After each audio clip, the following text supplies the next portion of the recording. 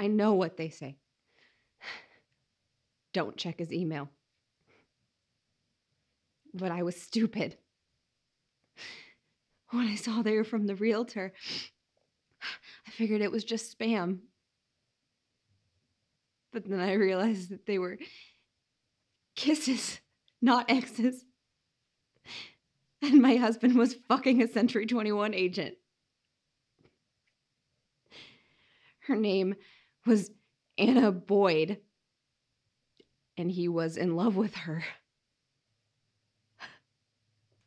Fuck you, Anna Boyd!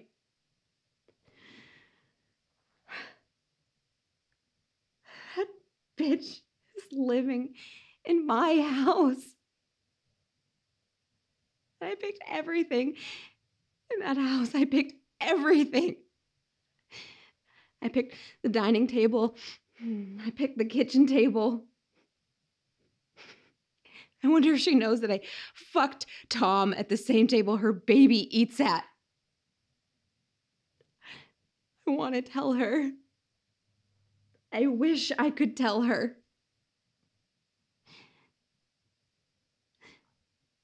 I fucking picked everything in that house.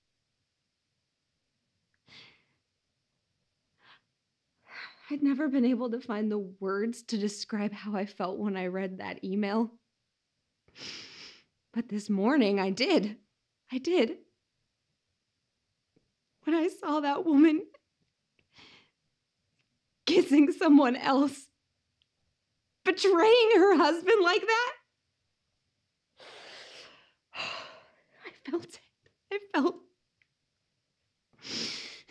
pure rage. Like something had been taken from me again. And if I could, if I could, I would go to her house. I would go in and I would find her sitting at the kitchen table. And I would just wrap my hands around her long blonde hair. And I would jerk her head back. I would just jerk it back. And I would pull her down to the ground where I would smash her head all over the floor. I would just smash it.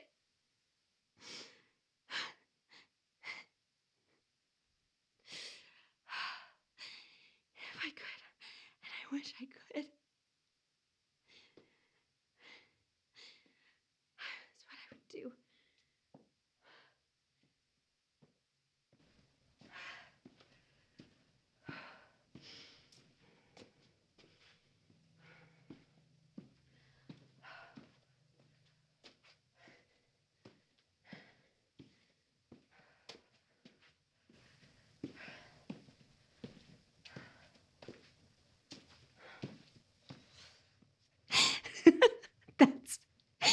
That's what I would do.